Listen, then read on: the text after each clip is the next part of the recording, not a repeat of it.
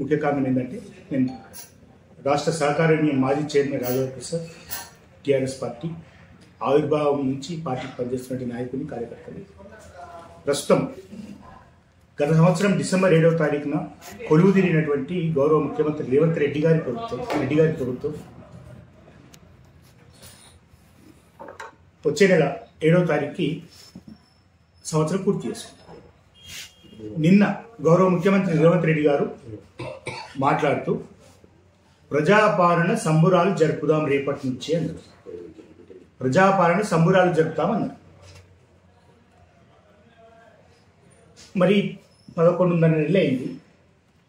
ఈ సంబురాలలో ఈ సంబురాలు జరుపుతున్నటువంటి రేవంత్ రెడ్డి గారికి కాంగ్రెస్ పార్టీ మంత్రులకు కాంగ్రెస్ పార్టీ నాయకులకు అధికార పార్టీ అధికార ప్రభుత్వ కార్యక్రమాల్లో పాల్గొంటున్న మహేష్ కుమార్ గౌడ్ లాంటి పార్టీ నాయకులు.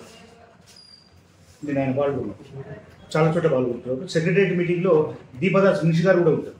పార్టీ లీడర్లు కూడా ప్రభుత్వం డైరెక్టర్ సూటిగా ప్రశ్నిస్తున్నా. ఈ మీడియా సమావేశం ద్వారా మీడియా ద్వారా వేదిక ద్వారా ప్రశ్నిస్తున్నా. ఏం సంబురాలు? ప్రజాపాలన సంబురాలు? వ్యవసాయ మార్కెటింగ్ శాఖ మంత్రి తుమ్మల నాగేశ్వరరావు గారి నియోజకవర్గం ఖమ్మం. ఖమ్మం మార్కెట్లో పత్తికి మద్దతు ధర రాదు. సిసిఐ కొనుగోలు చెయ్యదు. తప్పుడు మిషన్లు పెట్టి పత్తిలో తేమ శాతం పద్దెనిమిది ఇరవై శాతం ఉందని చెప్పి అబద్ధాలు చెప్పి అబద్ధాలు చెప్పి దాన్ని దళారుల పాలు చేసి గిట్టుబాటు ధర కంటే వెయ్యి పదిహేను వందలు తక్కువకు అమ్ముకునే పరిస్థితి కల్పించి పత్తి రైతులను నిలువెల్లా ముంచేసింది. వ్యవసాయ శాఖ మంత్రి నియోజకవర్గం ఖమ్మం మార్కెట్లోనే పత్రేత దోపిడీకి గురవుతుంది. అది గంట వహించిన రేవంత్ రెడ్డి గారి ప్రభుత్వంలో శాఖ మంత్రి పౌర సరఫరాల శాఖ మంత్రి ఉత్తమ్ కుమార్ రెడ్డి గారి నియోజకవర్గంలో ఆయన జిల్లాలో ఒడ్లు కొనరు సన్నొడ్లు కొనరు. సన్న ఒడ్లకు బోనసు ఇయ్యరు రకరకాల కొర్రీలు పెట్టి మద్దతు ధర బోనస్ పక్కన పడేసిండ్రు. మద్దతు ధర కంటే ఐదారు వందలు తక్కువకు మిల్లర్లకు దళారులకు రైతులు అమ్మే పరిస్థితి కల్పించి దళారులకు పండుగ చేశారు పౌర సరఫరా శాఖ మంత్రి గారు పంతులు అంటే ఆయన కేబినెట్ మినిస్టర్ పంతులు చెప్తున్నారు శాఖ. రాష్ట్ర గుండెకాయ ముఖ్యమంత్రి అయితే దానికి సమానంగా పనిచేసేది హోంశాఖ. హోంశాఖ మంత్రి. ఈ శాఖను కూడా గౌరవ ముఖ్యమంత్రి రేవంత్ రెడ్డి గారు తరగా నెట్టిపెట్టుకున్నారు. సరే శాఖ మంత్రిగా మాట్లాడారు గౌరవ హోంశాఖ మంత్రి గారి సొంత నియోజకవర్గంలో శాంతి భద్రతలు కరువు.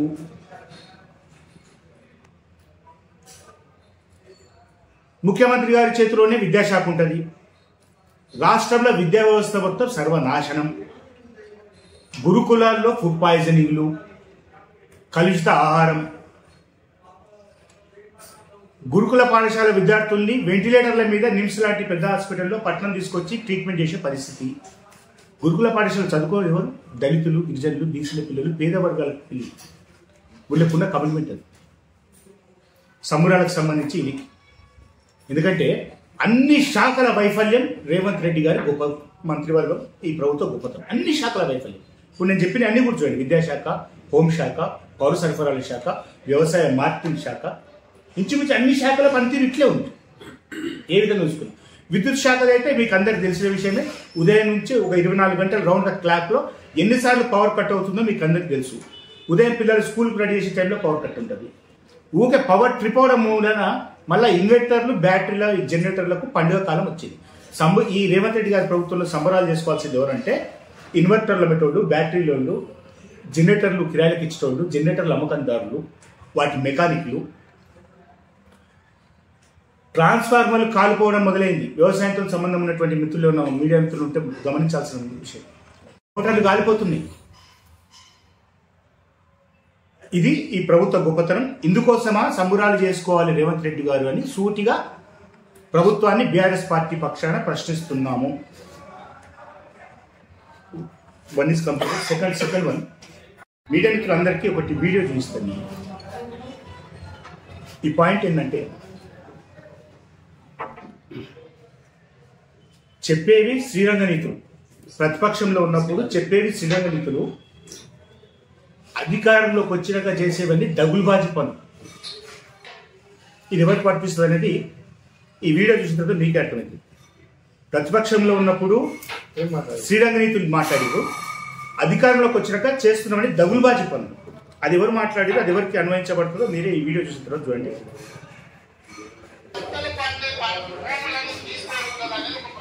ఏదైనా భూమి సేకరించినప్పుడు రైతు పంటలు పండే భూములను తీసుకోకూడదు అనేది ఒక ప్రధాన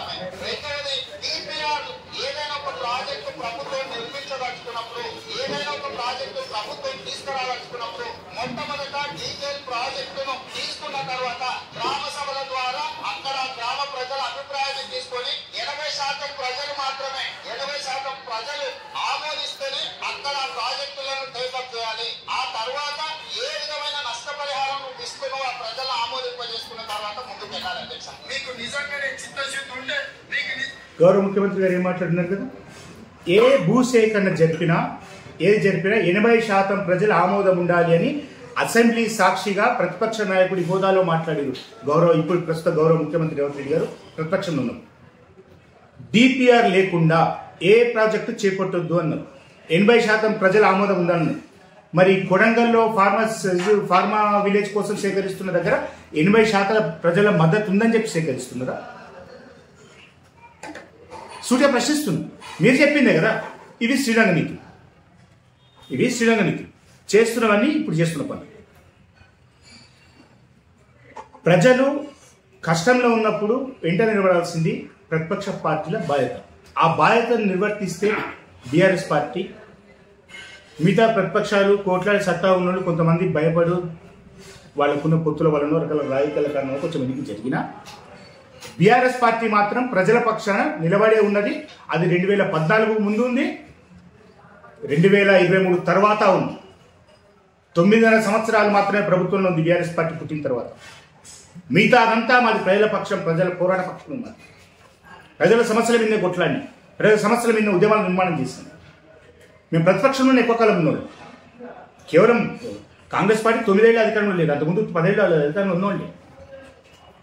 ఎక్కువ కాలం ప్రతిపక్షంలో ఉన్న తపన ప్ర- ప్రజల అపేక్ష మాకు ఉంటుంది మూసీ గురించి మాట్లాడితే diversion politics third one. Diversion politics ప్రతి డైవర్షన్ పాలిటిక్స్. కొడంగల్ ఇష్యూ మీద ప్రతిపక్ష పార్టీగా స్పందిస్తే దాన్ని రేవంత్ రెడ్డి గారికి అక్కడ ఉన్న మాజీ ఎమ్మెల్యే మీద బీఆర్ఎస్ నాయకుల మీద నిత్య ప్రయత్నం. అయ్యా రేవంత్ రెడ్డి గారు సాగునీటి కోసం తాగునీటి కోసం పరిశ్రమలకు నీళ్ళ అవసరాలు తీర్చడానికి యాభై ఐదు టీఎంసీల కెపాసిటీ తోటి మల్లన్న సాగర్ నిర్మాణం చేస్తుంటే ఆ రోజు ప్రజలు రిజిస్ట్రేషన్ చేస్తే మీరే వెళ్ళి రెండు రోజుల పాటు ఆందోళన కార్యక్రమాలు చేసి అక్కడ నిరాహార దీక్ష చేసిర్రు.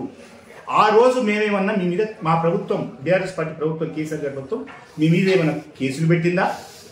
మిమ్మల్ని ఏమైనా అరెస్ట్ చేసిందా? మీకు వ్యతిరేకంగా మేమేమన్నా ప్రచారం చేసినామా?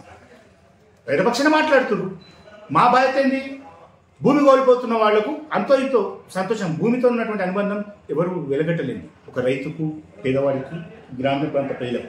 పట్టణంలో ఉన్న వాళ్ళం ఒకటి అమ్మ చూడుకోవచ్చు కానీ ఊర్లో ఉన్న వాళ్ళు భూమితో ఉన్నటువంటి సంబంధం అది ఆ విషయం ముఖ్యంగా రేవంత్ రెడ్డి గారికి ఎక్కువ తెలుసు. ఆ విషయం తర్వాత చెప్తాను నేను. ఇది కేసీఆర్ గారి ప్రభుత్వం తొమ్మిదిన్నరేళ్ళలో మరి డిపిఆర్ లేకుండా డీటెయిల్ ప్రాజెక్ట్ రిపోర్ట్ లేకుండా Musi river front project Musi development project లేదా మూసీ బ్యూటిఫికేషన్ ప్రాజెక్ట్ ఏదైనా పేరు ఏదైనా కానీ. మూసీ నది చుట్టూ చేపట్టినటువంటి ప్రభుత్వం చేపట్టినటువంటి ఫిజికల్ యాక్టివిటీస్ అది నిర్మాణం కావచ్చు కులగొట్టడం కావచ్చు. భౌతికమైన చర్యలు చేసి. ఏ డిపిఆర్ ఆధారంగా ఇల్లు కులగొట్టిరు చెప్పండి రేవంత్ రెడ్డి గారు. కాంగ్రెస్ ప్రభుత్వం సూటిగా ప్రశ్నిస్తుంది దాని మీద మాట్లాడితే బీఆర్ఎస్ వాళ్ళు ఐదు వేలు ఇచ్చి తిట్టిపిస్తున్నారు ముఖ్యమంత్రి అని చెప్పి ముఖ్య మంత్రులే మాట్లాడతారు. ఇల్లు ఓడిపోయి గొల్లు గొల్లు అని ఏడుస్తున్న వాళ్ళు ఆక్రోషంతో పేదడు కోపం వస్తే తిడతాడు వాడి నోటికి బూతే వస్తుంది. వాడి కడుపు మీద కొడితే ఇప్పుడు ఈపులో కొడితే తట్టుకోవచ్చు. నాగరికంగా నాగరికంగా మనం అంత ఉన్నవాడు తిడితే మనసులో పెట్టుకొని టైం వచ్చినప్పుడు చూసుకుంటా అనుకుంటాడు. ఇదైతే ఖచ్చితం. కానీ ఊర్లో ఉన్నవాడికి పేదవాడికి అట్టు ఉండదు. వాడికి నిత్యం ప్రతిరోజు జీవనమన్న సమస్య. కడుపులో కొడితే ఎంత బాధ ఉంటుంది? కడుపులో కొడితే ఎంత బాధ ఉంటుంది? పిల్లలు స్కూల్లో పోయింది. తండ్రిలో తల్లిలో హాస్పిటల్లో ఉంది. భర్త డైలీ వేస్ లేబర్గా పనిచేస్తాడు. నువ్వు జేసీబీ బుల్డోజర్ తీసుకొచ్చి ఇల్లులో వచ్చిన వాళ్ళ కరువు మండదా తిట్టారా తిడితే అది బీఆర్ఎస్ పార్టీ డబ్బులు ఇచ్చి తెచ్చిచ్చిందంటవా? పేదవాడి ఆక్రోశం నీకు రాజకీయంలా కనిపిస్తున్నదా? పదకొండు నెలల హనీమూన్ ముగిసింది రేవంత్ రెడ్డి గారు. సంబురాలు చేసుకోండి. ప్రజాపాలన సంబురాలు. మీ హనీమూన్ ముగిసింది. గల్లా బట్టి ప్రశ్నిస్తుంది తెలంగాణ. తెలంగాణ గుణం తెలంగాణ సమాజం యొక్క గుణం తనకు అన్యాయం జరిగితే గల్లా బట్టి ప్రశ్నిస్తుంది. ప్రపంచ భారతదేశం మొత్తానికి విప్లవోద్యమ పాఠాలు నేర్పినటువంటి తెలంగాణ. నాయకులను ఇచ్చింది తెలంగాణ గడ్డ. అత్యుత్తమైనటువంటి కమ్యూనిస్టు ఉద్యమాల నిర్మాణాలను చేసింది తెలంగాణ గడ్డ. మల్లోజుల కోటేశ్వరరావు కావచ్చు మల్లోజుల వేణుగోపాలరావు కావచ్చు. కిషన్జీ. గొప్ప ఉద్యమకారు మారోజు వీరన్న గొప్ప సామాజిక ఉద్యమకారు అన్ని ఉద్యమాలకు గడ్డ తెలంగాణ తెలంగాణను తక్కువ అంచనా వేయొద్దు కాంగ్రెస్ నాయకులారా అని చెప్తున్నారు కాంగ్రెస్ ప్రభుత్వాన్ని ఏదైనా విమర్శిస్తే వెంటనే వ్యక్తిగతంగా దూషణ వ్యక్తిగతంగా దాడులు వ్యక్తిత్వ హననాలు క్యారెక్టర్ అసాసినేషన్. ఏం చేస్తారు? పదకొండు నెలల నుంచి కాంగ్రెస్ నాయకులు స్థానిక నాయకులు ప్రెస్ మీట్ పెడితే బూతులు తిడతారు తరిమి కొడతామంటారు. తాగి మాట్లాడిందంటారు పట్నంలో పెద్ద నాయకులు మీటింగ్ పెడితే రాష్ట్ర స్థాయి నాయకులు మీటింగ్ పెడితే వాళ్ళ మీద వ్యక్తిగత విమర్శలు చేస్తారు. కుట్ర కోణాలు కేసులు. నిన్న ఒక పత్రికలో ఫ్రంట్ లైన్లోనే కేటీఆర్ పాత్ర ఉంది అన్నట్టు ఒకటి హెడ్లైన్ రాసి పక్కకు ఒకటి అక్షరార్థం గుర్తుపెట్టింది హెడ్లైన్ ఓ పత్రిక. దానికి ఖండనగా అది తప్పు. నేను నేరాంగీకారం అది ఇవ్వలేదు పోలీసులకు నేను అటువంటి కన్ఫెషన్ స్టేట్మెంట్ అంటుంది నేను ఇవ్వలేదు అని గౌరవ మాజీ ఎమ్మెల్యే పట్నం నరేందర్ రెడ్డి గారు అఫిడవిట్ కోర్టులో ఇచ్చి ఇస్తే తప్ప ఆ విషయం బయటకు రాదు అబద్ధాలను ప్రచారం చేసి కేటీఆర్ గారి మీద బురద ప్రయత్నం చేశారు. మరి ఈరోజు అదే పత్రిక అదే సైజులో ఎందుకు రాయలేదు పట్నం నరేందర్ రెడ్డి గారి స్టేట్మెంట్ని కింద కూడా చిన్న గీతకు రాసిరండి.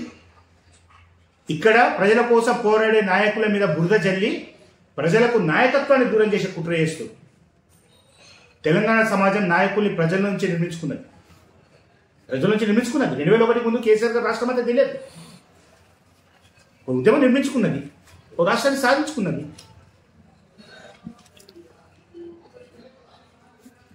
ఇదే సందర్భంగా ఇంకోటి పరిశీలిస్తున్నాం అయ్యా Kodandaram garu Congress party MLC. Congress party MLC కాదనుకుంటున్నాను తెలిసి ఆయన ఆయన పార్టీ రద్దు కాలేదు కాబట్టి తెలంగాణ జనసమితి కదా టీజేఎస్. టీజేఎస్ పార్టీ సంబంధించినటువంటి ఎమ్మెల్సీ కోదండరామ్ గారు తెలంగాణ విద్యావంతుల వేదిక పేరు మీద రకరకాల వేదికల పేర్ల మీద పౌరహక్కుల వేదికల మీద రకరకాలుగా మీరు హక్కుల గురించి గంటల తరబడి తెలంగాణ సమాజంలో ఉపన్యాసాలు ఇచ్చిర్రే. ఈరోజు మీ గొంతు ఒక్క పదవి ఇయ్యగానే మూగబోయిందా? గిరిజన మహిళలను ఇష్టం వచ్చినట్టు వాతలు తేలేటట్టు కొడితే అరవై ఏళ్ళ ముసలోళ్ళను కూడా వృద్ధుల అవ్వలను కూడా తలలు వేటట్టు కొడితే గర్భిణీలకు తొడల మీద వాతలు వచ్చినట్టు కొడితే కనిపిస్తున్నాయి. నేను ప్రెస్ మీట్ చూపించారు వాళ్ళు. సో మచ్ కూడా వాళ్ళు ఇప్పుడు ఎక్కడ వాళ్ళ బతుకు వాళ్ళు బతుకుతున్న వాళ్ళు హైదరాబాద్ వచ్చి ప్రెస్ మీట్ పెట్టి మాకు అయితే కొట్టిరని చెప్పుకునే పరిస్థితి వచ్చిందంటే ఎంత దారుణంగా ఉంది. జమ్మూ కాశ్మీర్లో అమలవుతున్నటువంటి లేకపోతే మణిపూర్లో అమలు అమలవుతున్నటువంటి లేకపోతే త్రిపురలో నాగాలాండ్లో అమలు అమలవుతున్నటువంటి ఇంటర్నెట్ నిషేధం చ- నిషేధం విధానం ఏంది ఇది? తెలంగాణ రాష్ట్రంలో మొట్టమొదటిసారి ఇంటర్నెట్ నిషేధం. కొడంగల్ ప్రాంతంలో. ఒక జాతీయ పార్టీ నాయకురాలు ఒక ఎంపీ డి కరుణ గారు వెళ్తా అంటే ఆయన పోవద్దంటారు. మీరు లోపాయి గారు గెలిపించుకున్నాడు కదా వీళ్ళంతా కొండ విశ్వేశ్వరరెడ్డి గారు వీళ్ళంతా అడగండి. కొండ విశ్వేశ్వరరెడ్డి గారు ఏమంటున్నారు? పాత ఉమ్మడి రంగారెడ్డి జిల్లాకు ప్రాతినిధ్యం వహించిన వ్యక్తినే ఆ ప్రాంతంతో అవినాభావం ఉన్న వ్యక్తినే మీరు చేస్తే పని మంచిగుందా కొండ విశ్వేశ్వరరెడ్డి గారితో అడగండి. రేవంత్ రెడ్డి గారు మీ అన్నగారు ఎనుముల తిరుపతి రెడ్డి గారు ప్రైవేటు సైన్యాలను నేర్చుకొని వందలాది మందితో ప్రజలను భయం కప్పితులను చేస్తూ ఊరేగుతుంటే వన్ ఫార్టీ ఫోర్ సెక్షన్ వర్తించదా? తిరుపతి రెడ్డికి వన్ ఫార్టీ ఫోర్ సెక్షన్ వర్తించదా? చట్టాలు పేదలకేనా? తిరుపతి రెడ్డి గారు కనీసం గ్రామ పంచాయతీ వార్డు మెంబర్ కూడా కాదు ప్రభుత్వంలో ఏదో ఒక పదవి చేసినోడు కూడా కాదు ఏ పార్టీలో బాధ్యతలు ఉన్నోడు కూడా కాదు. తిరుపతి రెడ్డికి ఐఏఎస్లు సాగిలబడి స్వాగతాలు పలకడం అంటేనే ప్రజాస్వామ్యం ఎటువైపు పోతుందో తెలంగాణలో పదకొండు నెలలను అవగతమైంది. రేవంత్ రెడ్డి గారు మూసి సుందరీకరణ పేరుగా కూలగొడుతున్న ఇళ్ళలో కూడా తొంభై ఎనిమిది శాతం దళితులు గిరిజనులు బీసీలు దుస్తులు ఇల్లు ఎందుకంటే జిహెచ్ఎంసీలో పారిశుద్ధ్య కార్యక్రమాల్లో పాల్గొంటున్న వాళ్ళు దురదృష్టానికి డెబ్బై ఐదేళ్ళ సంవత్సరం తర్వాత కూడా దళితులే ఎక్కువ ఉన్నారు గిరిజనులే ఎక్కువ ఉన్నారు. వాళ్ళకు వేలు వేలు కట్టి కిరాయిళ్ళలో హైదరాబాద్ లాంటి మహానగరంలో ఉండలేరు కనుకనే గుడిసెలో నాలుగు రేకులు వేసుకుని సిమెంట్ కొత్త ఇల్లు కట్టుకున్నారు. వాళ్ళ ఉసురు పోసుకుంటున్నాం రేవంత్ రెడ్డి. ఈ సుందరీకరణ తర్వాత వాళ్ళ కడుపు శోకం చూడు. హనీమూన్ ముగిసింది. ప్రయత్నం ప్రశ్నిస్తూనే ఉంటాం. ప్రజా గొంతుకగా బీఆర్ఎస్ పార్టీ నిలబడుతుంది కలబడుతుంది. ఇందులో ఎటువంటి తడబాటు ఉండదు. మేము నిలబడతాం కలబడతాం. హనీమూన్ అయిపోయింది ముందుంది ముసళ్ళ పండుగ. ఇప్పుడే మాట్లాడుతున్నాను భాష ముఖ్యమంత్రి గారి గౌరవం. ఇది ముఖ్యమంత్రి గారి నోరా మూసి నాలానా? ఏంది మాటలేంది? తారీఖు చెప్పండి మా ఎంకన్నని బుల్డోజర్ మీద ఎక్కిస్తా మా మధ్యలో సామ్యంతోని జెండా ఊపిస్తా మీరు ఎవడెవడు పట్టుకుంటాడో రాండి మీరు మీ చుట్టాలు మీ జాతంతో వచ్చి అడ్డం పడి జాతంతా. బుల్డోజర్ పెట్టి తొక్కించి మూసీ నది ప్రక్షాళన చేసి తీర్థమని చెప్పి నేను ఈ సందర్భంగా తెలియజేస్తున్నా ఇవాళ అడ్డం పడితే ఆ పాపం ముసురు కొట్టుకొని మూసిలో మురికిలో సస్తావు కుక్క సాగు చేస్తావు సస్తే దిక్కులే సాగు చేస్తావు చంద్రశేఖరరావు నువ్వు ఇవాళ మా ప్రజల్ని మభ్యపెట్టాలని చూస్తున్నావా? ఎవడెవడైతే వస్తా అంటుండో ఎవడెవడైతే బుల్డోజర్ అడ్డం పడతా అంటుండో మీరందరూ పేర్లు ఇవ్వండి. మా నల్గొండ నుంచి లక్షలాది మందిని అక్కడికి తీసుకొచ్చి వాళ్ళ సాక్షిగా మీకు ముఖ్యమంత్రి. గొప్ప విద్యావేత్త గొప్ప సంస్కరణ తెచ్చింది పివి నరసింహారావు. గొప్ప నాయకుడు దేశానికే దిక్సూచిగా మారింది ఇక్కడి నుంచి ముఖ్యమంత్రిగా పనిచేసి. అంజయ్య గారు ఆరణాల కూలీ నుంచి ఎదిగినటువంటి వ్యక్తి. చెన్నారెడ్డి గారు తెలంగాణ మొదటి ఉద్యమ పోరాటంలో వీరుడిలాగా పనిచేసేటువంటి వ్యక్తి ఈ రాష్ట్రానికి ముఖ్యమంత్రిగా పనిచేసేటువంటి సార్. సార్లు రాజశేఖర రెడ్డి గారు ఆరోగ్యశ్రీ లాంటి పథకాలు తీసుకొచ్చి ప్రజల మన్నలు పొందింది మీ కాంగ్రెస్ పార్టీనే కదా. రోషయ్య గారు ప్రతి ఒక్క అపోజిషన్ పార్టీలతో కూడా పెద్దలను గౌరవించుకున్నారు రోషే గారు ముఖ్యమంత్రిగా ఉన్న విషయం ఇంత గొప్ప పని చేసిండు గతంలో ముఖ్యమంత్రులు. ఇప్పటి వరకు ఏ ముఖ్యమంత్రి అయినా ఇంత చిల్లరగా ఇంత నీచంగా మాట్లాడిందా ఆలోచించుకోమని కాంగ్రెస్ పార్టీకి ఓట్లేసిన మేధావులకు చదువుకున్నటువంటి గొప్ప చదవరులందరినీ కూడా దండం పెట్టి విజ్ఞప్తి చేస్తున్నాం. మీరు ఓట్లేసి గెలిపించిన ముఖ్యమంత్రి గారి సంస్కారం ఇది ఇప్పటికైనా రేవంత్ అనే బూజులు వదిలించుకుంటేనే కాంగ్రెస్ పార్టీకి భవిష్యత్తు ఉంటుంది.